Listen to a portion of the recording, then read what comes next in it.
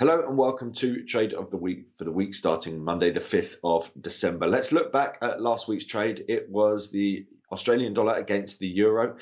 Unfortunately, this one didn't work out. Now, you could say that ultimately we could have placed our stops right at the top up here. Instead, we chose this level here. We were looking for this to roll over. We had broken through support here one of the things that undone this trade was the move that we saw in terms of eurozone inflation towards the downside, one towards the possibility that we could see the ECB easing back on their interest rate trajectory. But ultimately, what we're looking at here is a continuation of this, what could be a sort of rolling over pattern here, but instead we've just rallied into the wider move rather than broken support and moved from that point.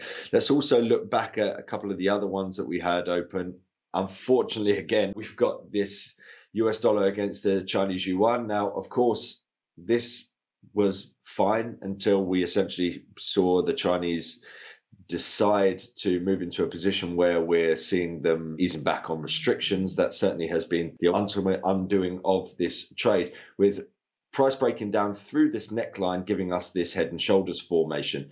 Um, so that ends that bullish trend that had been playing out. Of course, we were looking for another rebound for this market, which for a period of time was working out well. But of course, things have started to turn with protests clearly now having an impact.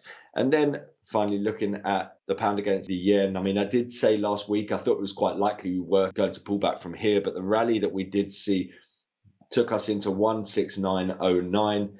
And so I do think that this is essentially going to be another bottom. We're starting to move higher once again. I saw another higher low. You can see here with the higher lows here, here, here. Another one here from the 100 day SMA. So I do think expected a pullback, which is what we have been seeing. But I think there is a good chance that we do see this market start to push higher from here.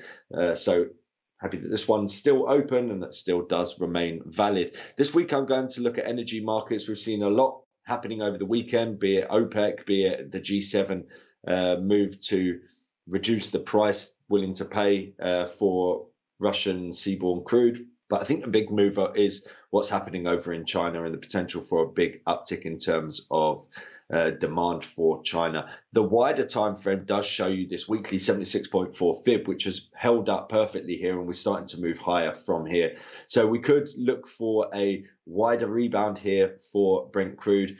I think it makes sense, quite frankly. You know, I don't necessarily think that we're going to break through this price swing low of 80.80. So I'm looking for longs here in Brent crude with a stop loss just below this 80.80 support level. Let's just put it at $80. $80 stop loss. And let's see how this one plays out with hopefully an extension of this rebound uh, to turn crude towards the upside once again. Hopefully, we'll get a nice bounce in energy markets from here.